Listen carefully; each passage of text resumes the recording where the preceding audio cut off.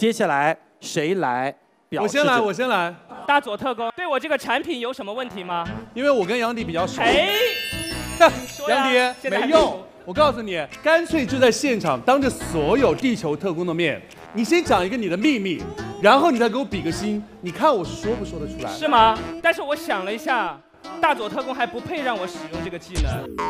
我觉得我提供证据比较合理一点。证据？相信这个证据，大佐特工待会儿也可以哑口无言。请看，吴亦凡、杨洋他们都使用了我们这个沉默拇指。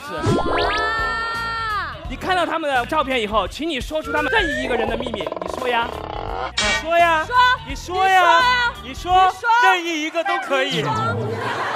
哎，大家注意看大佐的表情，他应该是知道秘密，但是但是他说不出来，他要顾忌。对他为什么说不出来？因为我们的沉默拇指。我，我没。